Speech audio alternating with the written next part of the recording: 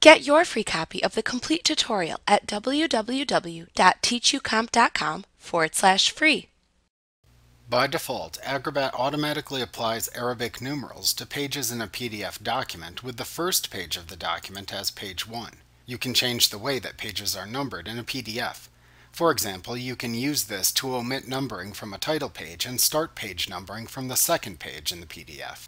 To do this, open a multi-page PDF and make sure the Page Thumbnails panel is opened within the navigation pane. To omit a title page, first click on the Cover Page thumbnail.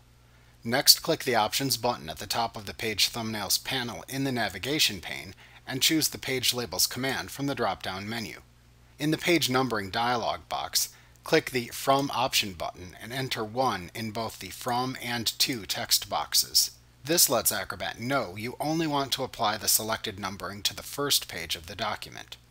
Ensure the Begin a New Section option button is selected in the Numbering section, and then choose None from the Style drop-down menu to not have a page number appear on the cover page. Then click the OK button. Acrobat applies your change, and the second page of the PDF becomes page 1. Notice how the thumbnail images change to reflect your choice. To change the numbering in the rest of the document, click the thumbnail image of the second page in the PDF, and again choose Page Labels from the Options drop-down menu at the top of the Page Thumbnails panel in the navigation pane.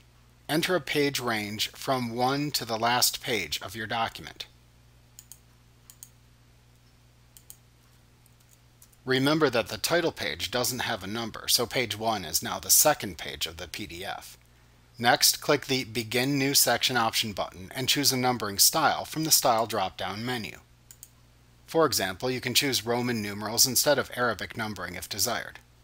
You can add prefix characters to the numbering by typing them into the prefix text box.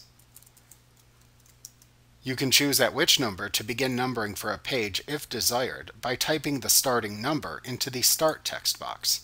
After making your selections, click the OK button. Acrobat applies your choices and changes the page numbers of your PDF. Like what you see? Pick up your free copy of the complete tutorial at www.teachucomp.com forward slash free.